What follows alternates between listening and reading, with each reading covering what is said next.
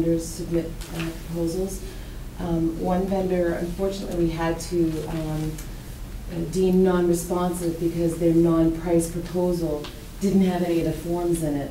And it wasn't until last night that Dr. Doherty and I, we opened their price proposal just to see where they were, and that's where all their forms were. And um, it's it's unfortunate, it wouldn't have changed our de- decision to deem them non-responsive. It was clearly delineated in the bid response that, that their, um, all their paperwork, all their, their non-price proposal needed to be in a separate package from their price proposal, so, um, so that was unfortunate. Um, We were left with two very good vendors, um, Triumph and Vanguard. They're two leaders in the industry, and they both submitted very thoughtful, thorough proposals to us for consideration. Um, The committee evaluated both. Uh, You evaluate the non-price proposal first um, against the criteria that we um, outlined in our RFP, which I believe is on page two of the memo. You can see that we we checked with references. Um, We evaluated on whether they were a local vendor or not, um, the floor plan, the quality of work. So there were a number of criteria. Um, At the end of our evaluation process, we really felt like Triumph was the highly advantageous vendor. Vanguard is an advantageous vendor. Um, There were just a few little things that made Triumph seem a little bit better. You know, they are local, they're in Littleton. Triumph is a, uh, excuse me, Vanguard's a national company. They have an office in Danvers, but their, their real headquarters is in Pennsylvania. So there, there are small subtleties like that that helped tick Triumph over the top in terms of being a highly advantageous vendor. But Vanguard is an advantageous vendor, so I want to make that very clear. We next moved to evaluating um, the price proposals. And that's where um, there was a a definite difference between the two. Triumph came in at 1.225 million, whereas Vanguard came in at 1,017,000. We are allowed, under the Mass General Law, Chapter 129, we are allowed to now take into totality the proposals. And this is where we can make a determination, is the premium worth it to get, to spend more to, to stay with the more highly advantageous vendor? Or do you want to go with the advantageous vendor because in totality, the proposal is, is just as good? And that's where the committee um, had some thoughtful discussion about it.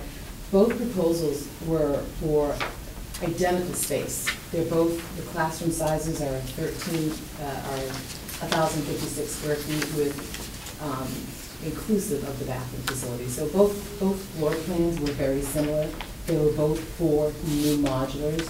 No bidder came to us with like new modulars. So when you put them next to each other, they were very, very similar in terms of what we were purchasing. I think um, Triumph uh, had more costs on their site work when they valued the bid proposal that we received back from them, the price proposal. We asked them to, to spell out what is the cost of the units and what is the cost of the site work. And Triumph budgeted more for the site work than Vanguard did. So, um, you know, we looked at some of those things. We really came to the conclusion that, that, that to spend an additional two hundred thousand dollars with Triumph really didn't merit it. The difference between the two isn't that significant. Um, uh, In terms of, uh, I I want, I don't want to talk so long that I don't allow for questions.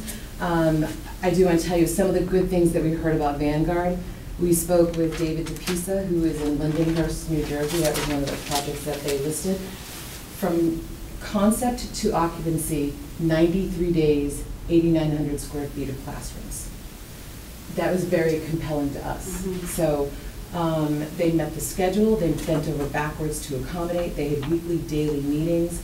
Um, Their architect acted as a project manager for them, and I think that's important, because one of the feedback that we heard about Vanguard, why they got a- a- an acceptable and not a high, or an advantageous and not a highly advantageous, we spoke with Boston Public Schools, who had a project with Vanguard, and it was a similar time frame to ours, uh, similar schedule, and they met the budget, but they didn't meet the delivery date.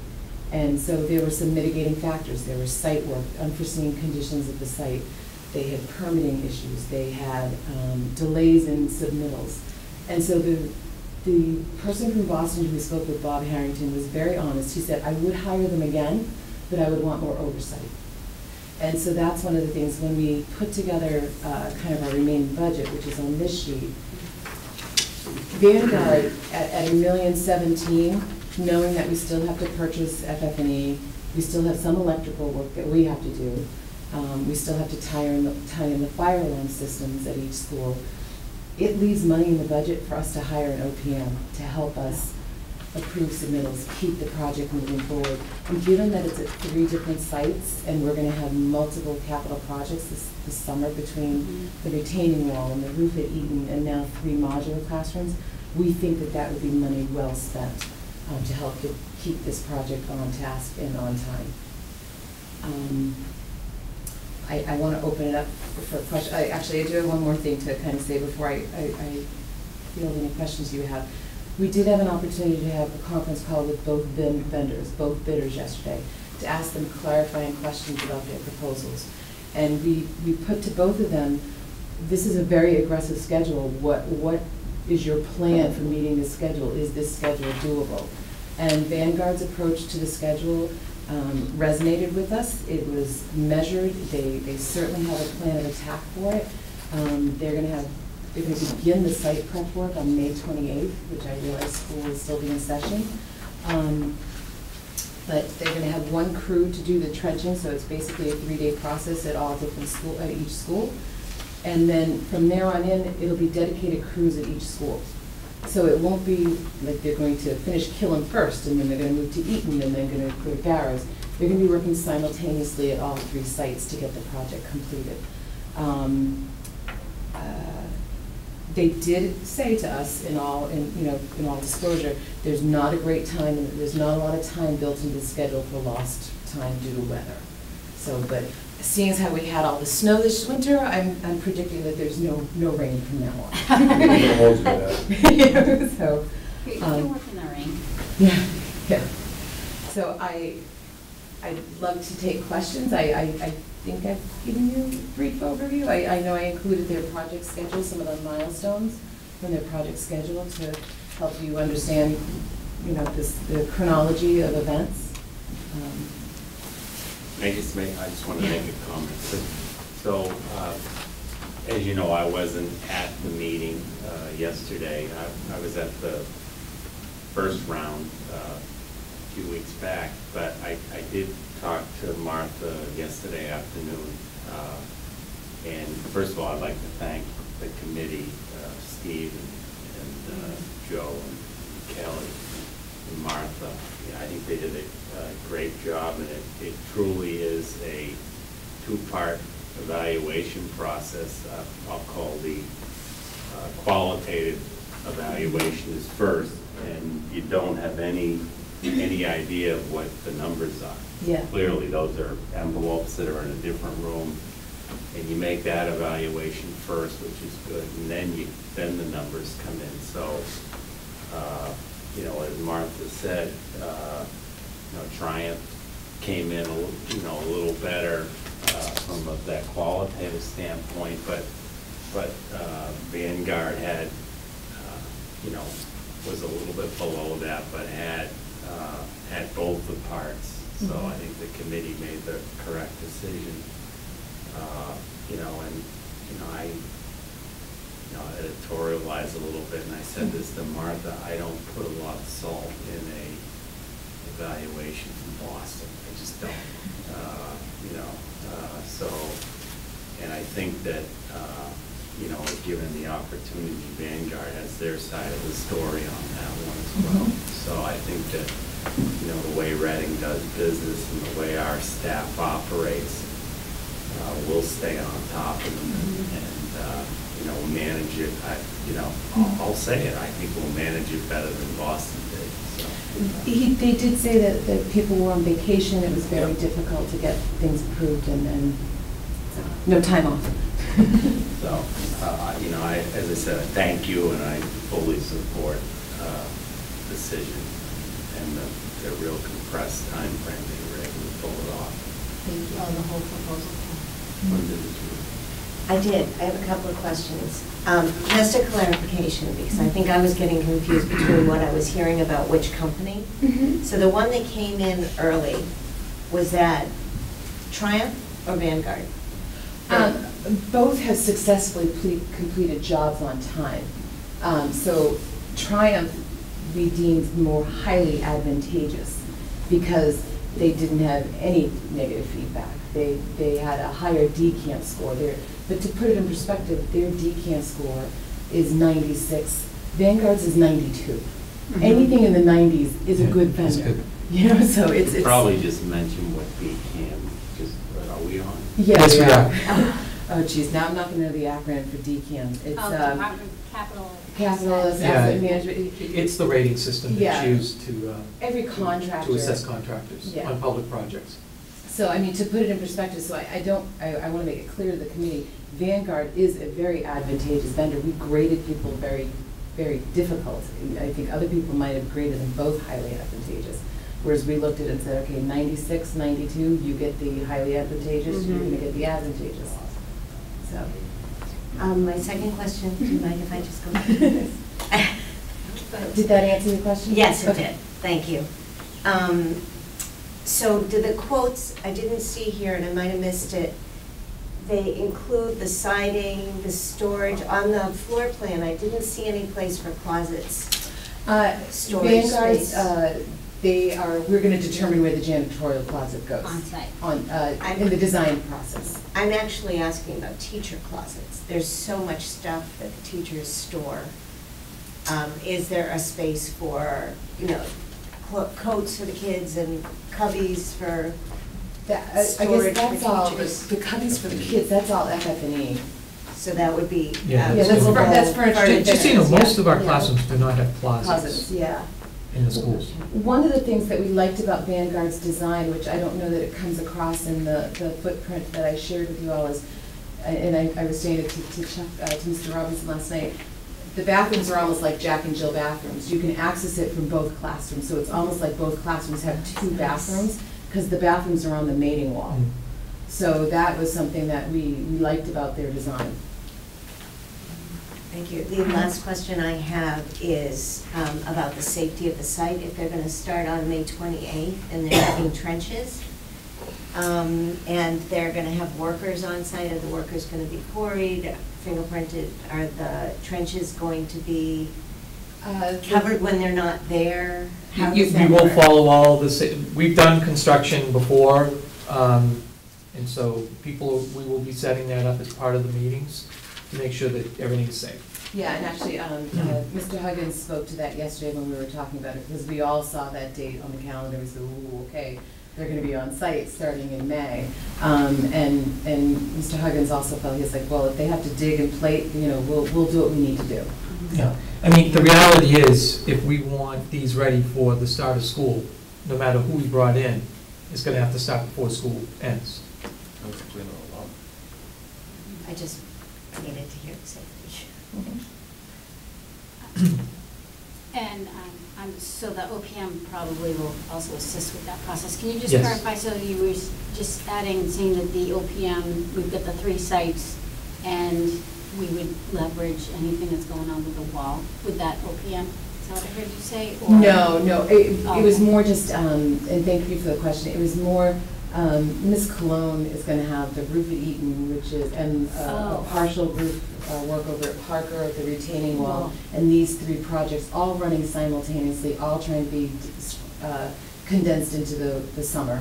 And so to have that all. uh, Oh, so to and- have the OPM. It's good to have an OPM project. Dedicated to this this one. project. Yeah, I agree, yeah. Yeah. Okay, great. I mean, I'd like to thank you too. This memo and that presentation was, answered just about every question I had. So thank you very, very much. I had a quick question on the bathrooms. Mhm. Um, Have you talked through, and maybe you don't know this yet, have you talked through how that would work? Is it maybe a boys and a girl, or is it going to be, how do you, if you're in classroom A, how do you know that someone from classroom B has entered? I'm sure that's all worked out. But can Um, you I- explain the bathroom situation? Um, you know, I, that would have to be worked out during the Yeah, design that would be phase. I don't believe that they're gonna be a boys and a girls room because it's, it's one bathroom per, per, um, per classroom. I, I will say that, um, we had a lot of discussion yesterday about, uh, a staff bathroom that, that, so there are, um, there are permitting requirements and permitting issues, so we, that will all come out in the design phase. But, um, Vanguard basically said in their proposal that if there is a cost to add another bathroom because of a staff, a staff bathroom requirement, if they can't um, get a waiver on that permit, then they'll absorb the cost of that. So it was, it was, it was very, uh, it was it was a good opportunity to talk with them yesterday, so. That's great. Because these bathrooms are going to be built for, um, I think the phrase was kindergarten height. Yeah, kindergarten So- right. Thank you very much. Oh, you're welcome. Yeah, I just have a comment, and I think you did a great job putting it all together and explaining it to us. I do think the uh, OPM dedicated to that project is paramount, and um, I know, um, I'm sure you're familiar with this, I've been through major renovations myself, and I've seen the value of having someone that's very knowledgeable in that role, and someone who's not so much, so I'm hoping we can hire a quality OPM, because uh, that- I've seen that make a huge difference in the project outcome. We've worked with some strong OPMs in the past couple of years, so Yeah. I think we have a couple that we're, Yeah. we're gonna look at. Martha, with, with the OPM charge of forty thousand, what does that encompass? We estimated, um, that? uh, that was a, a quick back of the envelope calculation with Kelly and Joe, um, estimating how many hours per week at a, at a cost per, per hour. So this was almost, um, I wanna say it was almost thirty hours a week of OPM oversight, um, for the twenty weeks of the project. I, I, we kept tweaking that number a couple of times. but that- So the OPM would come in and kind of meet with the job site? They run the people and meetings, they run the construction meetings, they're, they're there on site so many days a week. Everything's Yeah. Going, they have everything they need and Yes. such. Sign offs, permits, that everything is in place. sure. They're the, they're the ones that keep the project going with the paperwork and processes and, Mhm. and that's key. That's, I guess, what didn't happen in Boston. Yeah. I, I just want to, one thing, just, uh, one thing I didn't mention in the beginning and, and, uh, I, which I want to point out is that I'm very pleased that, uh, we were able to, through this process, come back and, and live within our means of Mm. what town meeting authorized at the million. Absolutely. two. So, thank you for that.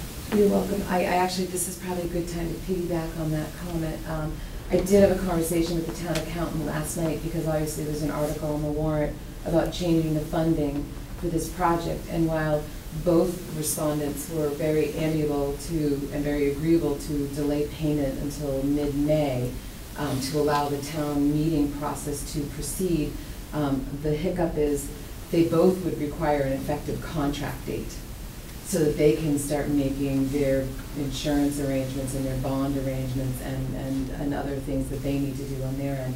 And so we can't delay a contract date until ten days after the town, the town meeting ends, because we would just, we would we'd never hit the date. So, um, it was our consensus with, with the town accountant last night, and, and she reached out to DOR to get an opinion. Um, we do believe that we're gonna have to table that article from town meeting, and that this will have to stay with its original funding source of free cash. And the town manager's aware of that, I talked to him yesterday, but last night. Okay, so it's, um, but it's within the original It's- approval? Yeah, Yes. Right, no, the- uh, okay, so. What, what the issue was, is that were we gonna change the funding source to debt? Right, Um, the, the caveat was if the contractor was, would accept payment later, wait till town meeting was over. Unfortunately, DOR is interpreting the signing of a contract as beginning of the process. So we can't wait till ten days after town meeting's over for them to start working on this project. They're gonna need a signed contract to begin the work. okay, okay, The, well, the, the debt, uh, decision was purely a, a cash flow. Correct. uh, Mhm. By the town manager. And, you know, I'm sure that he'll relook at this again, and if there's anything we can do down the road to re, uh, Oh, consider, restructure. Right. Yeah. we'll do that. Uh, I mean, but there is a cost, there's a cost of the debt Right. as Yes. well that comes with it, so that will Yeah. be on top of the million too. It's Yeah. small, which is why he likes to do that, because of our bond rating. What, what most likely will happen is the wall will be financed through debt mhm. when, when we get that final amount. Motion? Yes. Uh, Move to authorize the superintendent to enter into contract with Unified Modular Systems to provide modular classrooms. Any other discussion? Just say again, I support it. Nice job. All those in favor? Five zero. All right. Great, thank you very much. Thank you. I think we have two more Yeah, we have two quick award, bid awards. Um, We have one for um, uh, our fire alarm testing, repair, and maintenance contract.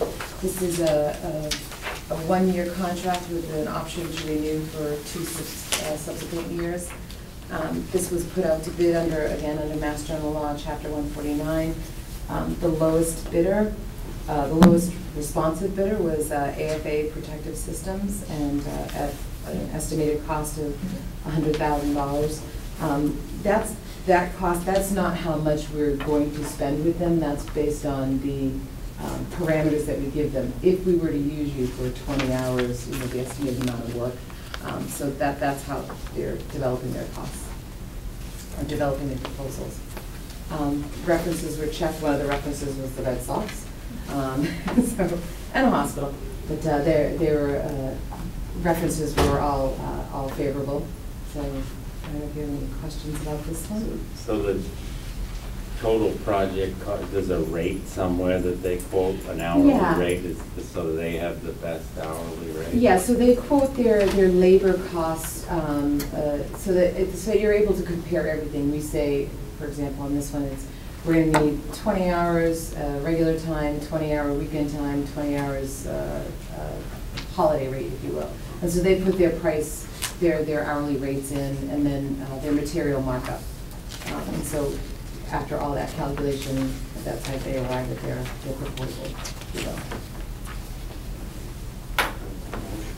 Um, Move to authorize the superintendent to enter into contract with AFA Protective Services to provide fire alarm testing, maintenance, and repair services. Yes. So this is, I, this is a fairly significant range here, and, and actually the next proposal too. Is that typical? Is that, that just seems, Do you mean the, the range from hundred thousand yeah, to to fifty-nine hundred and thousand? sixty, that's huge. Um, well, I mean, the, the two outliers there are the hundred and forty-two and the hundred and fifty-nine. I mean, that, that's where I, I look at it. The, the first, the top three, there's less than ten thousand dollars Mm. difference between the top three. I think the other thing is, we usually don't see a lot of people bid, and we're seeing more and more, which is a good sign. Um, so I think that's gonna, you're gonna see a greater range when you have more Mhm. bids. Thank you. I think the, uh, the ones that are competitive price-wise are the bigger companies too. They have probably the more ability to manipulate the pricing. Mm-hmm. All those in favor? Five zero. Last one. Um, so, uh, award of a contract for roofing repair. Again, this went out to bid under, um, Mass General Law one forty-nine. Um, Specialized Roofing was the lowest, uh, responsive and responsible bidder. Um, they are currently who we use now. Um, and so it would be nice to continue on with them for another, uh, one year at a minimum and, and hopefully renew for two subsequent years. Um, They provide excellent service and, and quality workmanship currently for us, uh, and have for the last three years. We did renew uh, for each year that we had them under uh, the last time we did so. Are they involved in the Eaton project? Um, We don't know who that, who that, that bid is out right now, um, and submissions are due on it, I believe, either next week or the week after, so that contract hasn't been awarded yet. So that will be separate from this? Yeah, this is Food repair, service- yeah, this This is is repair repairs. and services, yeah. Do we know whether they're bidding? or- or we- Um, I don't know, I, I do know from Gale Associates that thirteen people have pulled the bid documents to bid on the Eaton roof, and so, so far, everything. Which is a good sign. Which is a really good sign. E- uh, Gale had said to us that we are hitting the market at the absolute right time, we're one of the first projects out there, so people are hungry for work, and, um, so we're, we're optimistic. We had, um, all thirteen of them came to the site visit earlier this week at Eaton, And um, so we're, we're very optimistic that we're gonna get aggressive pricing on that. I did, I just, um, again, I'm new to the construction business, Mm-hmm. and when you were saying that it was going out for bid, I was confused because I thought we'd already hired Gale for this, but it's, they This- hire the people to do the actual work, they do the design work? This is, this is separate from the Eaton roof. The Eaton roof is a very large capital project which is going out to bid on its own standalone. This is who we're gonna call if there's a, a Leaky hole in the, in the roof at Killam. Or, um, or we need, um, some other type of minor repair or maintenance to our roofs within the district. So this is more a repair and maintenance contract award, so that every time we have a, a job that could go over uh, the thirty-five thousand threshold, we don't have to bid every single job that we do. So Mhm. this is one of our ways of, um, of, of getting the best on contract, and then we can use them. Thank you, I understand, and, but I guess I was just asking about the Joshua Eaton, Okay. separate, because of what I just heard. So Gale, within this Joshua Eaton project, Gale then hires a construction? Gale has, has put out for bid the, um, the roof project. We will actually award the contract. Uh, Gale, Gale is managing the process for us. Oh, okay, and, But we control who, Ga- Gale did, we hired Gale as the design, and so Gale has done the design for the pitch and the angle and, and all that sort of thing for the roof. And they developed the bid for, that, that's out currently, uh, on the, I'm sorry? Yeah, the, BRFP, yeah. yeah. Move to authorize the superintendent to enter into contract with Specialized Roofing to provide roof maintenance and repair services. Any other discussion? All those in favor? Five zero. That's it for me. When is our next meeting? the twenty-eighth, it's a Tuesday, Tuesday, the day after town town meeting. Yep. So I just, yeah, I just, it, Kim, it, sure. just very quick, um, one run-on sentence, thank you so much, the Blue Ribbon seems to be going really well, and. Gotta go. um, workshop, and um, thank you for allowing the, for the presentation of the course. Yes, thank you. Can we adjourn? Yeah, well, I mean, do we have an, I'm sorry. You, you're four. Okay. You're so good, you're Yeah. four. I kept an eye on that one. You're four. Uh, So there's no other uh, business at this No. No. Move to adjourn. point? Second, all those in favor? Four. Thank you for coming in early, appreciate it. Thank you.